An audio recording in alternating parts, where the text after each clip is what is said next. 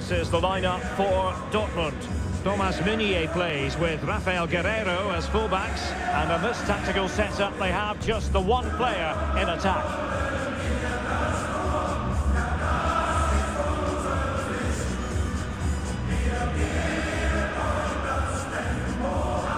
Here's the initial 11 for Bayern. Manuel Neuer begins in goal. Matthijs de Ligt plays alongside Lucas Hernandez in central defence. Leroy Sané plays with Kingsley Coman out wide. And the responsibility of leading the line today goes to Sadio Mané. He could really get at the opposition. Mané. Wonderful chance.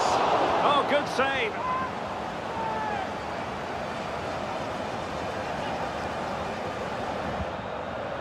Goretzka. De Ligt. Now with Goretzka. An alert piece of defending. Will it lead to the goal that puts them ahead? That's a great stop. Well, his reflexes are so good there. That's a fantastic stop.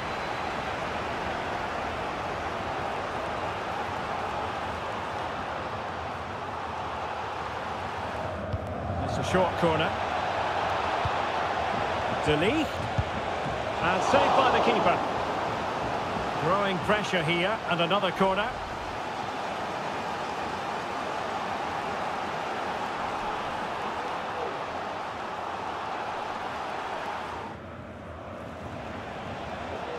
Good use of advantage by the referee in Bayern's favour. Sabitzer. Now with Goretzka. Can he put them in front? Is the emphatic answer. And you have to say it was on the cards.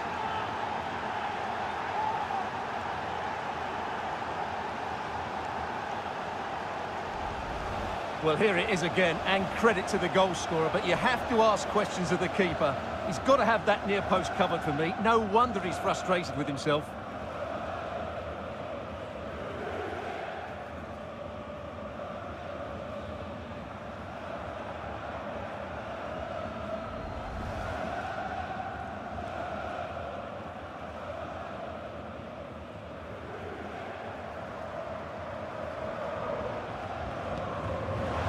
And Bellingham. This could square the game. And it has! Such late excitement. And no wonder they're jumping for joy as we speak.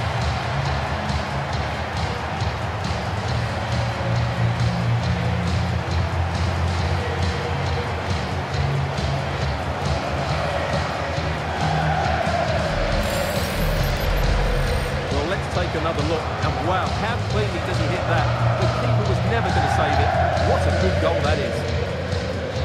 And there it is, the full-time whistle. Well, they can't be separated, and goals very much part of the equation. Stuart, as always, interested to get your final analysis. Well, Derek, it was a really good game between two evenly matched teams. Both had their moments, but neither side really deserved to lose this one.